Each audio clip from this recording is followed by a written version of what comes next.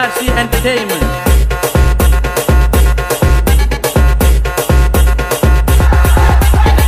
தப்பு என் தப்பு. எதுவும் இல்லைன்னாலே என்ன இல்லைன்னாலே எனக்கு சாக்கச்சு அதுல ஆட் வச்சு கருகி போயிடுச்சு. போடாங்கொய்யாலே. சொன்னாலே